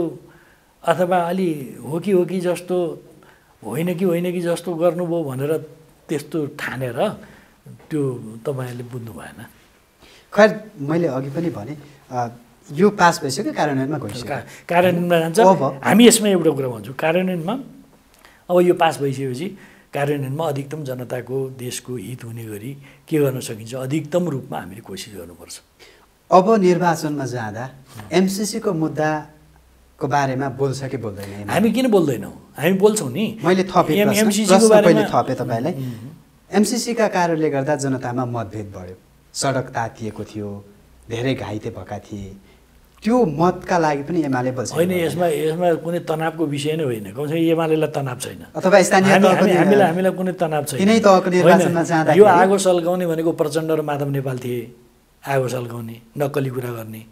कार्यकर्तालाई सडकमा गयो जुलुस निकालो यहीँ कतातिर हातमा हल्का ल्याएर एमसिसीको बारेमा मुर्दाबाद भन्छन्। चुप लागेन चुप लाग्यो पनि भन्ने। होइन? अनि अमेरिकनलाई एउटा कुरा गर्ने चिठी पठाउने एउटा कुरा भन्ने अर्कै कुरा हँ? एमाले त त्यो तमासा गरे होइन नि? हामीले हाम्रो नेतृत्वमा सरकार हुँदा यसमा छलफल होस् भनेर हामीले टेबल गरेका चिज हो त्यो। भनेपछि अनि एमसिसी त गाँसी त गाँसिएर आएका प्रत्येक कुराको जवाफ दिन्छौँ हामी। फिनिस हामी पक्षमा थियौँ भनेर यसमा हो, यसमा कुरै भने म यो भन्दैछु। हामी त एउटा त्यो सिलसिलाबाट आएको चिजको विपक्षमा किन हुन्थ्यौँ र? विपक्षमा हुन्न थियौँ नि। अनि अमेरिकनलाई एउटा कुरा चाइनिजलाई अर्को कुरा इन्डियनलाई अर्को कुरा गर्ने नक्कली नौटङ्कीबाज हौँ हामी। एमाले त्यस्तो होइन। एमाले त जे कुरा तपाईँसित जे कुरा गर्छ पार्लिमेन्टमा त्यही कुरा गर्छ विदेशी मित्रहरूसित त्यही कुरा गर्छ। अब स्थानीय चुनावलाई केन्द्रित हौँ। तपाईँहरू यो पटक दल विभाजन फुटेको अवस्था छ। यो फुटेको अवस्थामै निर्वाचनमा उम्मेदै हुनुहुन्छ। किनभने शक्ति त पक्कै पनि विकेन्द्रित भएको छ होइन? केन्द्रीकृत शक्ति पनि स्थानीय तहदेखि माथिल्लो तहसम्म पार्लिमेन्टसम्म नै विखण्डित खण्ड खण्ड भएको छ। यसलाई चाहिँ यसको असर अघि तपाईँले दाबी त गर्नुभयो तर यसको असरको बारेमा कसरी? हामीले के गरेछौँ भने यो असरको बारेमा तपाईँले चिन्ता गरेको हो कि यसो के भन्दो रहेछ भनेर बुझ्न खोजेको हो कि थाहा छैन है। म तपाईँलाई के भन्न चाहन्छु भने हामी क्लियर कुरा बुझ्नुहोस्। हामी गठबन्धन गर्दैनौँ एक्लै चुनाव लड्छौँ। एक। दोस्रो कुरा त्यसरी लडेको चुनावमा हामी बहुमत ल्याउँछौँ दुई। बहुमत ल्याउने के त भन्दा हाम्रा विचारहरू हाम्रा कार्यक्रम हाम्रा योजना हाम्रा प्रतिबद्धताको आधारमा हामी ल्याउँछौँ। हामीले त्यो देखेका छौँ। तपाईँ भन्नुहोस् न आज नेकपा एमालेमा प्रवेश गर्ने मान्छे प्रतिपक्षी हो नि त। गठबन्धनको त मालामाल हुनुपर्ने। हँ? गठबन्धनको त मालामाल हुनुपर्ने। सारा मान्छे हुनुपर्ने नि त। किन एमाले प्रतिपक्षी हुँदा हुँदै पनि मान्छेहरू एमालेप्रति आकर्षण तराई भन्नुहोस् पूर्व भन्नुहोस् पश्चिम भन्नुहोस् जहाँसुकै। जहाँसुकै जानुहोस् यो के किन देखाएको छ एमाले के दिएको छ र? तपाईँले यो दाबी गरिराख्दाखेरि नि हामी गठबन्धन पनि गर्दैनौँ। बहुमत पनि ल्याउँछौँ भन्दाखेरि जनता आश्वस्त हुने आधार के छ? किनभने तपाईँहरू त विभाजन भइसक्नु भएको छ। विभाजन भएर उतापट्टि गइसकेका जनतालाई आश्वस्त एउटा कुरा होला नि जनता गएका छन् विभाजित हुनुभयो भनेर तपाईँ जुन स्ट्रेस दिदी भन्दै हुनुहुन्छ नि। म त्यसलाई त्यो ठान्दै ठान्दिनँ। केही मान्छेहरू चोइटेर गए। तर चोइटेर गएको सँगसँगै एमालेमा थपिएको कति छन्? हिसाब गर्नु भएको छ? छैन तपाईँलाई। गर्नु होला पूर्वदेखि पश्चिमसम्म एमालेमा आउनेहरू प्रवेश गर्नेहरू ए एमालेमा आबद्ध। कमसेकम अहिलेसम्म पाँच लाख मान्छे थपिएका छन् भनेपछि पाँच लाखले रिकभर गर्छ। होइन पाँच लाखको रिकभर होइन। एउटा ट्रेन हेर्नुहोस् न। अहिले म कुरा गर्दैछु कति ठाउँमा प्रवेश गर्दैछन् मान्छेहरू। यति बेला राइट नाउ विभिन्न ठाउँमा बिहान बेलुकै दिउँसो अनेक ठाउँमा। आज म बैठक चलिरहेको छ ती बैठकमा प्रवेश गर्ने उहाँ यो पर्साका सर्लाहीका साथीहरूको पङ्क्ति थियो मैले के भन्न खोजेँ भने एउटा यो एउटा बडो एउटा विचित्रको एउटा पोजिटिभ एउटा कुरा देखिरहेछौँ हामी। यो एमालेको पक्षमा किन मान्छे लाग्दैछन् त? एमाले केही दिएछ र? केही पैसा दिएछ कि प्रलोभन दिएछ त्यस्तो त होइन। किन मान्छेहरू पद रिस्कमा राखेर प्रवेश गर्दैछन्? अरे बाबा यो त बुझ्नुहोस् कुनै आग्रह नराखिकन प्रचण्डहरूले त आग्रह राख्लान् कि तर भित्रभित्र उनीहरूले पनि बुझ्दैछन्। यो के हुनेवाला छ भनेर। त्यस कारणले त भन्दैछु यो निर्वाचन नगर्नको लागि अनेक खालका धन्दा हुन सक्छन् कि भन्ने हामीलाई कता कता बेला बेलामा लाग्छ। यो जनलहरका कारणले पनि हो नि यो यो त। बिल्कुल त्यो हो नि त। अनेक खालका देख्नु न दुई दिन मनोनयन फर वाट यो के तमासा हो? कसको योजनामा कसको सेटिङमा यो सबै कुरा हुँदैछ? ठिक छ म अर्को प्रश्नमा जान्छु। कि तपाईँले प्रश्नको आशय एउटै हुनसक्छ तर जवाफ फरक आउन सक्छ किनभने हरेक निर्वाचनमा हरेक दलले आफ्ना घोषणापत्र सार्वजनिक गरिन्छ जनतालाई सपना देखाइन्छ होइन? त्यो सपना देखाउने क्रममा एमाले पनि देखाएको छ र विगतका निर्वाचनहरूमा धेरै धेरै दलले आफ्नो हिसाबले देखाएको छ। र एमालेको सन्दर्भमा चाहिँ गएका निर्वाचनमा सार्वजनिक गरेका घोषणापत्रहरू के के पुरा भए? यसमा मैले अहिले तपाईँले भन्नुभन्दा पनि दुईवटा कुरा। हामी जनतासित हामीले यसबिचमा निर्वाचित भएर हाम्रा स्थानीय तहमा निर्वाचित भएका एमालेका साथीहरूले एमालेका प्रतिनिधिले के के गर्नुभयो ती कुराहरू त छन्। त्यही कुरालाई सङ्गठित ढङ्गले भन्छौँ एक। दोस्रो कुरा आउने दिनमा हामी के के गर्छौँ? पहिलेको प्रतिबद्धताको आधारमा पनि प्राप्त भएको अनुभवमा उभिएर हामी आउने दिनमा के के गर्छौँ? म त भन्छु कति ठाउँमा पाँचवटा काम सातवटा काम दसवटा काम। हामी जे गर्छौँ त्यो कुरा बोल्छौँ। हामी त्यो बोलेर जान्छौँ। त्यो बोल्ने कुरा कुनै नेताको मनमा लागेको कुरा भन्ने होइन। हामी त्यहाँको आवश्यकतामा आधारित भएर जनताका विचारहरू समेतलाई ख्याल गरेर हामी त्यो कुरा बोल्छौँ। त्यस कारणले त्यो झुठा आश्वासन के को आश्वासन? हामीले भन्यौँ एक सय रुपियाँ बुढाबुढीलाई दिन थाल्ने पनि हामी हौँ चार हजार पुर्याउने पनि हामी हौँ नि। अरू को हो? हामी हौँ एमाले हो। एक सय रुपियाँ मनमोहन अधिकारी प्रधानमन्त्री हुँदा सुरु गरेको एमाले सुरु गर्ने एमाले त्यस बेला एमाले यसरी वितरण गर्दाखेरि राष्ट्रको ढिकुटी कनिका छरे जस्तो भयो भन्नेहरू पनि थिए। अहिले चार हजार पुर्याउने पनि एमाले हो नि। केपी ओलीको नेतृत्वको एमाले गरे हो नि त्यो। मैले के भन्न खोजेँ भने त हामी जे गर्छौँ त्यो कुरा भन्छौँ। जनतालाई पत्याउने गरी बुझ्ने गरी जनताको आवश्यकतामा आधारित भएर ती कुरा भन्छौँ। त्यस कारणले अब हामी यो विभाजनको आदि इत्यादि जुन कुरा गर्नुभयो। विभाजन के केही मान्छे चोइटेर एमालेमा कति प्रवेश गर्दैछन् निर्वाचनको बेला अझै भन्नुहोस् ल अझै डेढ महिनाभन्दा बेसी छ अझै। यो अवधिमा अझै हेर्नु होला एमालेभित्र। त्यो हिजो अब विभिन्न भ्रमवश गएका साथीहरू समेत पनि घर फर्किनेछन्। यो हेरिरहनु होला तपाईँले हामीले काम गऱ्यौँ र त्यो घोषणापत्रको प्रतिफलकै कारणले जनता प्रवेश गर्दैछन् भन्नुभयो कि? अथवा दुई? दुई तिनवटा कुराहरू छन्। एउटा कुरा के हो भने हामीले गरेका कुरा पनि जनताको बिचमा छन्। हामीले सङ्घ केन्द्रीय सरकार सङ्घीय सरकारबाट मा हुँदा नेतृत्व गर्दा के के गऱ्यौँ ती कुराहरू पनि छँदैछन्। हामीले प्रदेशको नेतृत्वमा प्रदेशमा हामीले नेतृत्व गरेको सरकार हुँदा पनि के के गऱ्यौँ? त्यो कुरा छँदैछन्। स्थानीय तहमा पनि हामीले के के गऱ्यौँ? त्यो लुकाएर बनावटी भनेर जनताले पत्याउनु जनताले झल्झली देखाएको छन् नि त। त्यही चिज छँदैछन्। भनेपछि त हामीले गरेका कुरालाई सङ्गठित ढङ्गले हामीले भन्छौँ। एक दोस्रो कुरा के गर्छौँ भन्दाखेरि अब हामी के के गर्छौँ? गर्ने कुराको हकमा एउटा कुरा म कबुल गर्छु गर्ने कुराको हकमा हिजोभन्दा पनि मोर कङ्क्रिट कुरा बोल्छौँ अब हामी। ठ्याक्कै तपाईँले यो दाबी गरिराख्दा हामीले गऱ्यौँ भनिराख्दाखेरि चाहिँ जनताको चाहिँ मनमा अथवा दिमागमा पस्ने गरी टु दि पोइन्ट दुईवटा तिनवटा भन्दा चाहिँ के भन्नुहुन्छ? जस्तो जस्तो। जस्तो कि मनमोहन अधिकारीबाट सुरु भएको वृद्ध भत्ताको क्रेडिटाइजेसन एमालेसँग त्यो बाहेकका पोइन्ट पनि भन्नु यो कुनै क्रेडिट लिन मात्रै भनेको होइन। जे जे छ त्यो त जनताले बुझिरहेछन् त्यो कुरा प्रसङ्गवश उठाएको कुनै क्रेडिट लिन माइलेज लिउँ भनेर त हापझाप गरेर बोले पनि होइन मैले। एउटा कुरा यो। दोस्रो कुरा हामी जस्तो भनौँ न आर्थिक विकास र समृद्धि समृद्ध नेपाल सुखी नेपाली भनेको छौँ होइन त। समृद्ध नेपाल सुखी नेपालीको लागि के हो त भन्दाखेरि हाम्रा पाँचवटा आधार। कृषिको कुरा कृषिको कुरामा हामीले भूमि व्यवस्थासँग सम्बन्धित कुराहरू जो थालेका थियौँ। अब एकपटकलाई जमिन नहुनेलाई जमिन हामीले दिनुपर्छ। सबै काम त गरिसकेका थियौँ। त्यो त भङ्ग गरियो। अनि अहिले नयाँ नौटङ्की गरिँदैछ अब। यो यो हेर्दैछौँ हामी होइन? हामी भूमिको भूमिलाई एउटा त भूमि नहुनेलाई भूमिको नयाँ ढङ्गले वितरण गर्नुपर्ने खालका कुराहरू छन्। त्यो एकपटक हामीले गर्नुपर्छ भने हौँ। अर्को कुरा के भने हामीले यो भू व्यवस्थापन कसरी गर्ने हो भन्ने बारेमा हामीले यो चाहिँ कृषिलाई आधुनिकीकरण गर्ने सम्बन्धमा कसरी जाने त्यसमा हामी ठोस नीति ठोस योजना ठोस कार्यक्रम र ठोस आचरण साथ प्रस्तुत हुन्छौँ एउटा। उद्योगको बारेमा हाम्रा त्यही अनुसार हुनेछन् ऊर्जाको बारेमा हामी त्यही अनुसार नीति लिनेछौँ। पर्यटनको बारेमा त्यही अनुसार नीति लिनेछौँ र चौथो कुरा पूर्वाधार पाँचौँ कुरा भनौँ। त पूर्वाधारमा दुईवटा कुरा एउटा शिक्षा र स्वास्थ्य एउटा भौतिक पूर्वाधार अर्को शिक्षा र स्वास्थ्यको कुरा। त यो विषयमा केन्द्रित भएर हामी अगाडि बढ्छौँ।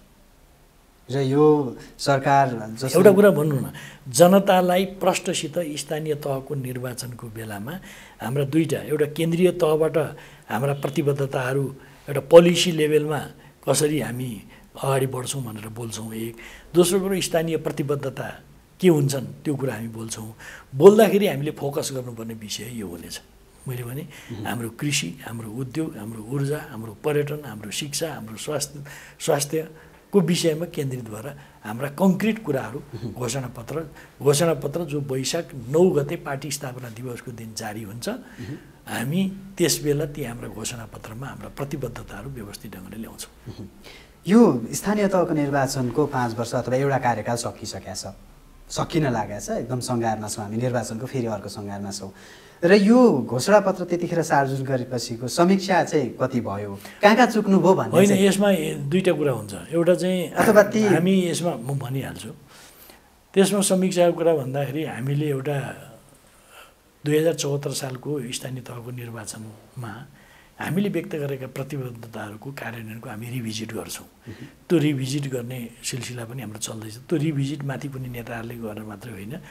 सतहत्तरै जिल्लामा सतहत्तरै जिल्लामा हाम्रा निश्चित तोकिएका साथीहरूसहित त्यहाँको जिल्ला पार्टीको कोअर्डिनेसनसिपमा यो रिभिजिट हुन्छ एक। दोस्रो कुरो अब हामीले प्रतिबद्धता कसरी व्यक्त गर्ने स्थानीय प्रतिबद्धता भन्ने खालका कुरा पनि त्यहीँकै साथीहरूसित छलफलबाट हामी तय गर्छौँ। हामी यो काममा लागेका छौँ। समीक्षा मैले किन पनि सोधेँ भने सुधार गर्नुपर्ने के के देखिए होइन यसमा ओभरअल पार्टीले यसमा। यसमा हामी यही प्रोसेसमै छौँ कि। अब के के देखियो होइन। त्यही त। पुगेका छौँ कि तर यही प्रोसेसमै छौँ हामी होइन। भन्दाखेरि रिभिजिट त गर्नु। पऱ्यो। रिभिजिट गर्ने भनेको के हो भने हामीले के के भनेका थियौँ कार्यान्वयन गर्दा के के अप्ठ्यारा परे के के भए के के भएनन् यिनी चिजहरू। त्यो त हामी खुलस्तै ल्याउँछौँ नि। हामीले गरेका कुराहरू खुलस्तै ल्याउँछौँ। अब स्थानीय तहको निर्वाचन एकदमै नजिकिँदाखेरि चाहिँ पार्टी फुटेको छ त्यो स्वीकार्नुहुन्छ होइन? पाँच दलीय गठबन्धन पनि छ। गठबन्धन एकातिर एमाले एकातिर हुँदा पनि तपाईँ चाहिँ बहुमत ल्याउने भनेर त दाबी गरिराख्नु भएको छ। तर यसको मौखिक जवाफ अथवा चाहिँ एउटा सैद्धान्तिक भन्दा पनि ठोस विश्लेषण चाहिँ कस्तो छ? होइन यसमा यति बेला प बाक्सा घोप्ट्याएर परिणाम त तपाईँलाई भन्न सकिँदैन। यति बेला त मेरो विश्लेषणको आधारमा बोल्ने नै हो। होइन? तपाईँलाई पत्याउनु मन लागिरहेको छैन अलग कुरा हो। तर म त मेरो विश्लेषणको आधारमा बोल्छु नि जस्तो भनौँ। हामी के आधारमा भन्दा हामीले गरेका काम। हाम्रो केन्द्रीय सरकारमा हुँदा हाम्रो तर्फबाट भएका कामहरू छन् जनताको बिचमा एक। अब हामीले गर्ने कामका योजनाहरू छन् दोस्रो कुरा। अनि हिजो सरकारमा हुँदा हामीले गरेको प्रयत्नमा हाम्रो विरुद्धमा जो षड्यन्त्र कम्युनिस्ट पार्टीको सरकार छ कम्युनिस्ट पार्टीको नेतृत्वमा सरकार छ त्यो कम्युनिस्ट पार्टीको सरकारलाई ढालेर मूल प्रतिद्वन्दी को नेतालाई प्रधानमन्त्री बनिदेऊ भनेर मुद्दा हाल्न गएका छन् राष्ट्रपतिजी कहाँ निवेदन दिएका छन् अनि यिनीहरू पक्ष यिनीहरूको पक्षमा मान्छे बुझ्दैन जनताले तपाईँले यो भनिराख्दाखेरि नि पाँच दलको गठबन्धन छ। पाँच दलको गठबन्धन एक र एमाले एक हुँदा पनि जितिन्छ। होइन गाह्रो छैन तपाईँलाई गाह्रो गाह्रो छ नि भनेर म थर काम म त के भन्दैछु भने मैले बोलेको त अहिले तपाईँको अभिलेख भइरहेछ नि त रेकर्ड भइरहेछ नि। म के भन्न चाहन्छु भने यो त पाँच दल हेरे भयो नि त हामीले भनेकै छौँ नम्रतापूर्वक सक्नुहुन्छ एक्लै एक्लै आउनुहोस् सक्नुहुन्न मिलेरै आउनुहोस्। हामी गठबन्धन गर्दैनौँ फिनिस। यो त कुनै ए झ्वाकमा बोलेको यसो लुकीछिपी बोलेको यसो भन्नको लागि भनिदिएको कुरा होइन नि त। हाम्रो एकदम फर्म अडान यही हो नि। तपाईँले यो दाबी अडान गरिराख्दाखेरि म एउटा तथ्याङ्क पनि तपाईँलाई भन्छु। चौरात्तरको स्थानीय निर्वाचनमा चाहिँ कुल सात सय त्रिपन्नवटा स्थानीय तहमध्ये एमाले चाहिँ दुई सय त्रियानब्बे स्थानमा जित हासिल गरेको थियो होइन? त्यसमा चाहिँ पन्ध्र सयभन्दा कम मतान्तरले दुई सय बत्तिसवटा स्थानीय तहमा चाहिँ जित निकालेको थियो एमाले। म तपाईँलाई भनिदिन्छु नि दुई हजार चौहत्तर सालको निर्वाचनमा अब अब अलिकति मलाई सक्न दिनुहोस्। र पार्टी फुटको असर त्यो पन्ध्र सयभन्दा कम मतान्तरमा देखियो होइन भने यसमा यसमा नि। त्यसलाई तपाईँ चाहिँ तपाईँ रहिरहिकन त्यसलाई त्यसले उठाउँदै हुनुहुन्छ। म के भन्न चाहन्छु भने यो पार्टी फुट भन्दै हुनुहुन्छ। के फुट? मान्छेहरू अत्यन्त अनैतिक अनुचित अराजनीतिक अपराधिक योजना अन्तर्गत चोइटेर गए। मैले फेरि दोहोऱ्याइरहनु पर्दैन। त्यस अन्तर्गत चोइटेर गए। जुन चोइटेर जाने कुराको औचित्य छैन यो अपराधपूर्ण कुरा हो भनेर मान्छेले जज गरिरहेछन्। हो? एउटा कुरा यो। हामीले चौहत्तर सालमा बयालिस प्रतिशत एकले त्यस बेला नि काङ्ग्रेस र माओवादीको गठबन्धन त थियो। थियो कि थिएन? थियो नि। गठबन्धन थियो। बयालिस प्रतिशत एक्लै एमाले ल्याएको हो कि होइन? त्यस बेला यस्तो ढङ्गको प्रवेशको अलि स्थिति अरू पार्टीहरूबाट अरू राजनीतिक पार्टीहरू प्रवेशको यस्तो स्थिति पनि थिएन। र अहिले जुन ढङ्गले हामी एउटा अभूतपूर्व अभियान चलाइरहेका छौँ यो अभियानले त परिणाम देखाउनै बाँकी छ नि। त्यस कारणले तपाईँले जुन ल्याउन सक्दैनौ कि ल्याउन सक्दैनौ भन्ने आशाका साथ जिज्ञासा राख्नुहुन्छ म के भन्न चाहन्छु भने यो आधारमा हामीले गरेका कामको आधारमा हाम्रो पृष्ठभूमिको आधारमा हाम्रो क्रियाशीलताको आधारमा हाम्रा कामका योजनाहरूको आधारमा हामी ल्याउँछौँ मैले फगत जवाफ मात्रै खोज्या होइन तपाईँसँग सैद्धान्तिक र व्यावहारिक एनालाइटिक यो विश्लेषण खोज्या। तपाईँले सुन्नु न तपाईँ पोलिटिक्सको बारेमा म्याथमेटिकल उत्तर खोज्नुहुन्छ। म्याथमेटिकल उत्तर पाउनुहुन्न। यो कुरा बुझ्नुहोस्। कुरो के हुन्छ भने जस्तो म्याथमेटिकल कुरा भनेको के भने हिजो सग्लो एमाले थियो। मैले तपाईँको अभिनय गरेर भन्दैछु। हिजो सग्लो एमाले थियो। अहिले एमाले फुट्यो। स्वतः कम हो। कसरी ल्याउनुहुन्छ? आदि होइन त?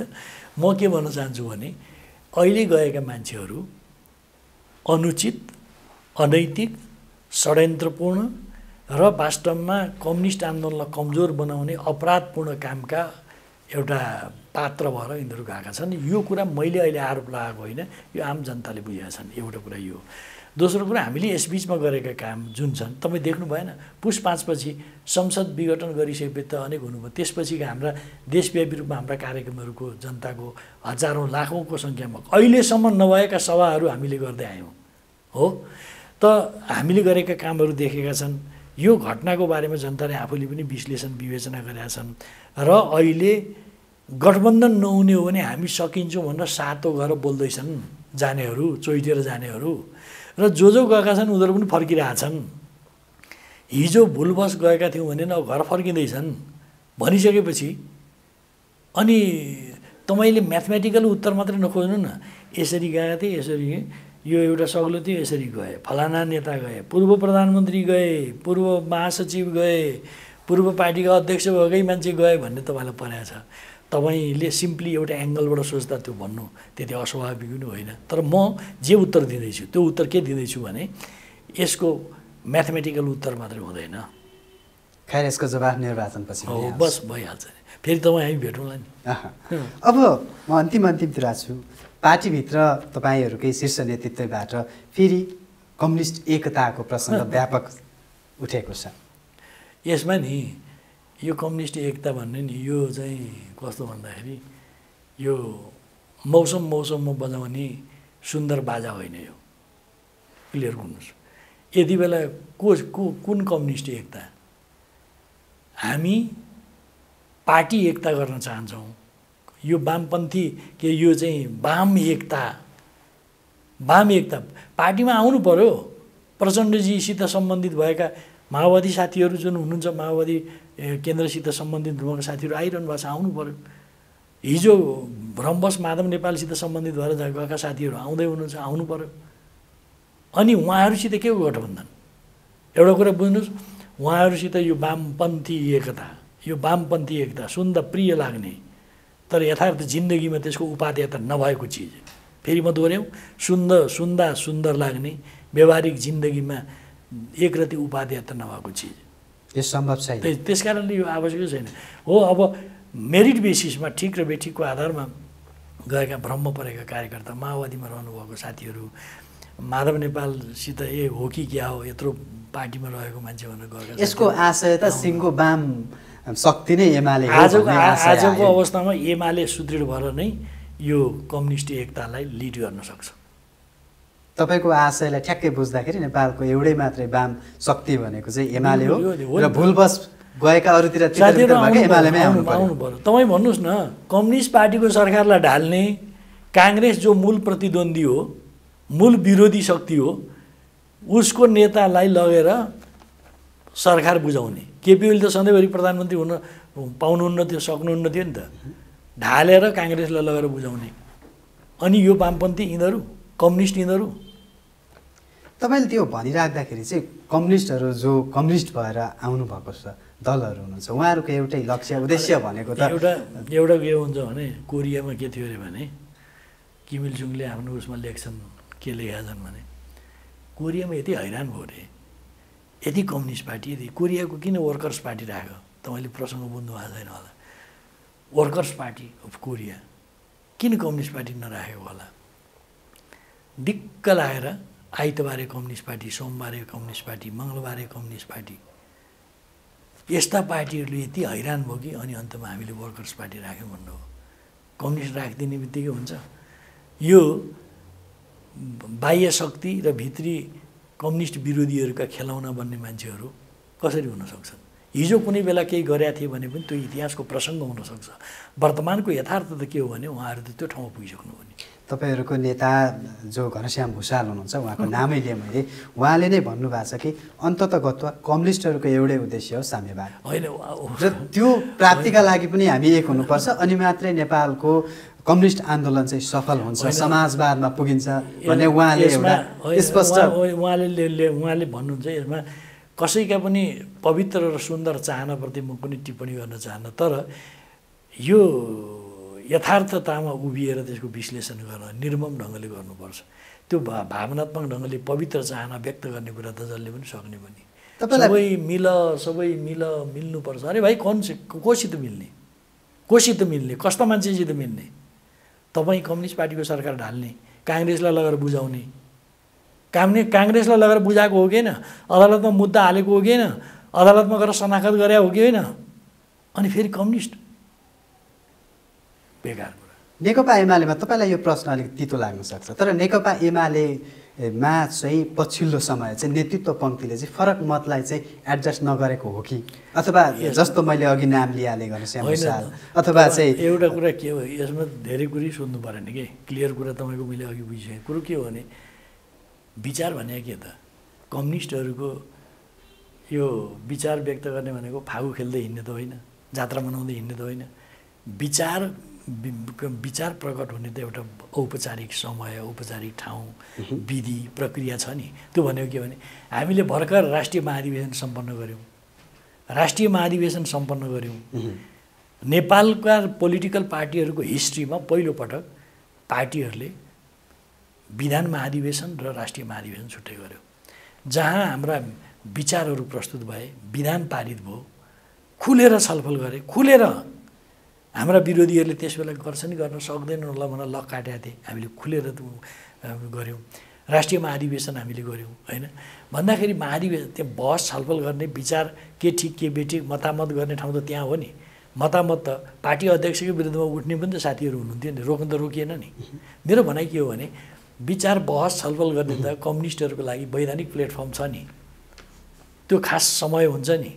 कि जति बेला मन लाग्यो वैचारिक छलफल गरौँ भनेर वै विचारकै छलफल गरिरहेछ। त्यसको कुनै बेला हुन्छ कि हुँदैन ठाउँ हुन्छ कि हुँदैन समय हुन्छ कि हुँदैन तरिका हुन्छ कि हुँदैन। लाग्यो प्रिय लाग्यो कुनै कुरा बोलिदिइहालेर बहस छलफल हुन्छ भने। भनेपछि पार्टीले फरक मतको पनि एडजस्ट चाहिँ गर्छ सम्बोधन गर्छ। खास त्यसको जस्तो मतहरू पार्टीलाई म मिलाइदिन्छु। आवश्यक लागेन। म तपाईँलाई आवश्यक लागेन त्यस्तो पनि होइन। अलिक बिगार्नु हो। कुरो के हो भने फरक मत विचारको बहस छलफल हुन्छ तर औपचारिक ढङ्गले त्यसका परिभाषित बेला हुन्छन् परिभाषित ठाउँ हुन्छ होइन? परिभाषित अवसर हुन्छ। त्यस बेला गर्ने हो नि। अनि त्यो महाधिवेशन सकिएको दुई महिना भएको छैन वैचारिक छलफल भने के भने भने? अब मसँग एउटा प्रसङ्ग छ। पछिल्लो समय शीर्ष नेतृत्वले अब नेपालमा दुईटा दल मात्रै आवश्यक छ र साना दलले यसको तीव्र आलोचना पनि गरेका छन्। खासमा यो- यो प्रसङ्ग किन आइराखेको छ नेपालमा? बहुदलीय प्रणालीमा? होइन प्रचण्ड नै तरङ्गित भएको हामीले सुनेको छु। त्यही तरङ्गित भएको कुराबाट तपाईँ प्रभावित भएर प्रश्न बनाउनु हो तपाईँले मलाई थाहा छ। कुरो के हो भन्नुलाई भने नि यो प्रचण्ड मात्र नभएर अन्य साना दल पनि। मैले खालि प्रचण्डजी तरङ्गित भएको अरू पनि आतङ्कित कसैले बनाइदिएर फैसला गरिदिएर दुई मात्रै बनाइदिने फैसला गरेर त हुँदैन त्यो त। एउटा प्रक्रियाबाट होला। हामीले जुन संविधान बनायौँ संविधानको जो किटानी व्यवस्था छ त्यसलाई उल्लङ्घन गर्नु त मिल्दैन। संविधानको जे व्यवस्था छ त्यही अन्तर्गत रहेर बहस छलफल त कसैले विभिन्नले विभिन्न एङ्गलबाट गर्ला नि। त्यसमै तरङ्गित हुनु पऱ्यो किन? किन आपत्ति गर्नु पऱ्यो अहिलेको विद्यमान संविधानले जे जे कुरा भनेको छ संविधानको व्यवस्थालाई त कसैले काट्न सक्दैन नि। त्यही संविधानको व्यवस्था अनुसार सोचे भइगयो नि। तर संविधान विपरीत किन परिकल्पना गरियो होइन परिकल्पना होइन। कसले गर्यो परिकल्पना? त यो यो हावा। हुनुपर्छ। होइन होइन होइन सुन्नु न हावा हावाको भरमा कसैले भन्लान् दुई दल वास्तवमा एउटा चाहिँ नेपाली काङ्ग्रेसले लिड गरेको एलायन्स अर्को कम्युनिस्टहरूले लिड गरेको एलायन्स भनेर कसैले परिकल्पना गर्यो होला। तर आज हामी नेपालका राजनीतिक पार्टीहरू विद्यमान संवैधानिक जे व्यवस्था छ त्यो व्यवस्थालाई मानेर हिँडिरहेछौँ किन टाउको दुख्यो हो? किन कुरा कसैले बहस छलफल गर्ने बित्तिकै तरङ्गित भएको भने? त्यो जरुरतै छैन। अब अन्तिममा कम्युनिस्ट तपाईँ अघि नै भन्नुभयो कम्युनिस्टको एउटै मात्रै अबको लिड गर्ने एमाले भनेर अघि भनिसक्नुभयो र नेपालको कम्युनिस्ट आन्दोलनमा अब एमालेमै सबै आउनुपर्छ भन्ने तपाईँको भाव सारांश पनि अघि नै आइसक्यो। तर कम्युनिस्टहरू नै यसरी एक अर्काबीच आरोप प्रत्यारोपमा लागिसकेपछि कम्युनिस्ट आन्दोलन अथवा चाहिँ हामीले देखेको कम्युनिस्ट आन्दोलनको जुन गन्तव्य छ त्यो विमुख हुँदैन? फेरि यो तपाईँले पनि कस्तो भने यो आरोप प्रत्यारोप यो विषय नै होइन तपाईँ यहाँ आरोप प्रत्यारोप त हो नि। शीर्ष नेतृत्वमा जस्तो, समाजवादीमा, प्रचण्डबाट एकअर्कामा आइराखेको छ नि। तपाईँले यो सापेक्षतामा कुनै विषय बुझ्नुहोस् तपाईँ आजको यथार्थ के हो त भन्दाखेरि यो आरोप प्रत्यारोप इस्यु बेसिसमा राइट र रङ हिसाबले कुरा गर्नु। यो बिना बित्थामा आरोप किन लगाएका होलान् बिना बित्थामा प्रत्यारोप किन गरेका होलान् भन्ने होइन इस्यु बेस्ड भएर कुरा गर्नु पऱ्यो तपाईँ भन्नुहोस् कम्युनिस्ट पार्टीको सरकार ढाल्ने काङ्ग्रेसलाई प्रधानमन्त्री बनाउने सरकार बनाउने काङ्ग्रेसको नेतृत्वमा अनि बाबा हामी तिमी तिम्रै साथमा छौँ तिमीलाई साथ दिन्छौँ खबरदार यो बैशाखी छुट्ला भनेर भन्छौँ अनि फेरि कम्युनिस्ट भनिरहन्छौँ भाइ। यो विचित्र छ नि त। अनि त्यसको कारण यो आरोप प्रत्यारोपको कुरा होइन। आजको यथार्थ के हो भने नेकपा एमाले जे कुरा लिड गरेको छ मैले भने पोलिटिकल स्टेबिलिटीको विषयमा एडभोकेसी गर्छ आर्थिक विकास र समृद्धिको बारेमा एमाले एडभोकेसी गर्छ राष्ट्रिय स्वाभिमान र स्वतन्त्रताको बारेमा एडभोकेसी गर्छ समाजको अराजकता अन्त गर्ने र सामाजिक सद्भावको एडभोकेसी गर्छ देश बनाउने सपनाहरूको जागरणको कुरा गर्छ। एमाले यो कुरा गर्छ। अनि अरू त्यसको चाहिँ खुट्टा काट्ने कुरा गर्छन्। भनेपछि अब तपाईँ बताउनुहोस् न कुन कोट सहीको गलत सिद्धिएन भने? यति गर्दा समाजवादसम्म पुगिन्छ। होइन भने समाजवादको आधार निर्माण गर्ने। तपाईँ के बुझिराख्नुहोस् भने यो समाजवादमा पुग्ने समाजवाद कुनै स्वर्णिम ठाउँ हो त्यहाँ जम्प गरेर पुग्ने कुरा होइन। समाजवादको आधार निर्माण गरे भनेको अहिले भएको परिवर्तन पश्चात पनि जुन सामन्तवादका अवशेषहरू छन् सामन्तवादका अवशेष अन्त गर्ने एक दलाल नोकरसाही पुँजीवादको विरोध गर्ने दुई राष्ट्रिय पुँजीको विकास गर्ने तिन यो काम गरेर समाजवादको आधार निर्माण गर्ने हो। हो? पुगिन्छ। हो। समाजवादको आधार निर्माण गर्नु भनेको चाहिँ आधार निर्माण गर्ने भनेर लेखेर आधार निर्माण हुँदैन। यो चिज तिनवटा चिज मैले भने नि सामन्तवादका अवशेष जो परिवर्तन त भयो परिवर्तनपछि पनि सामन्तवादको अवशेष छ त्यो अवशेषको अन्त गर्नु पऱ्यो तपाईँले यो भनिरहँदा मैले प्रश्न म यो सक्छु। राष्ट्रिय पुँजीको विकास गर्नु पऱ्यो दलाल पुँजीवादको विरोध गर्नु पऱ्यो यो काम प्रभावकारी ढङ्गले गर्ने भनेर भाषणमा मात्रै होइन नीतिमा कार्यक्रममा योजनामा आचरणमा यो काम गरेर समाजवादको आधार बनाउने हो। मैले प्रश्न सिद्ध्याएको थिएँ तर तपाईँको जवाफबाट फेरि प्रश्न उब्जियो। र अन्तिम प्रश्न तपाईँका आलोचकहरूको प्रश्न मेरो प्रश्न भन्दा पनि यो चाहिँ। एमालेमा नै सामन्तवादको एउटा सामन्तवाद झाँगिँदैछ। उहाँहरू भन्नुहुन्छ समाजवादवादमा पुग्नलाई चाहिँ यी यी आधारहरू हुन्छन् तर एमालेमै यो झाँगियो भने धेरैको आलोचना टिप्पणी छ। तपाईँले पनि सामाजिक सञ्जाल यताउता भेट्नु भएको छ होला। अन्तिममा यसको जवाफ म त्यो सामाजिक सञ्जाल धेरै हेर्दिनँ। त्यो किनभने दस थरी खालका ती कतिपय कुराहरू हेर्ने फुर्सद पनि हुँदैन हेरिँदैन। कतिपय कुरा विचारका कुराहरू आउँदाखेरि पढिन्छ त्यो अलग कुरा हो। मेरो भनाइ के भने जुन एमाले प्रगति गर्दै यो ठाउँमा आएको छ। सामन्तवाद जसले एमाले ए, मा छ भनेर देख्छन् त्यो वास्तवमा एमालेलाई नबुझ्नेहरूले गर्ने टिप्पणी हो। म यति मात्रै बडो नम्रतापूर्वक यति मात्रै भन्न चाहन्छु। हस् यहाँलाई यो अमूल्य समयका लागि धेरै धेरै हवस् धन्यवाद। हस् त दर्शकवृन्द आजको टक विथ द टप यहीँ सकिन्छ आज मसँग कुराकानीका लागि हुनुहुन्थ्यो एमालेका वरिष्ठ उपाध्यक्ष ईश्वर पोखरेल र उहाँसँग नेकपा एमाले अब कसरी स्थानीय निर्वाचनमा जान्छ कस्ता रणनीतिहरू लिएर जान्छ? र नेकपा एमाले अरू कम्युनिस्टहरूसँग पार्टी एकता गर्छ कि गर्दैन? यी लगायत विविध विषयमा रहेर आज हामीले कुराकानी गऱ्यौँ। यतिन्जेल कार्यक्रम हेरेर साथ दिनुभएकोमा धेरै धेरै धन्यवाद। पुनः अर्को श्रृङ्खला लिएर उपस्थित हुने नै छौँ। तबसम्मका लागि बिदा दिनुहोस्। नमस्कार।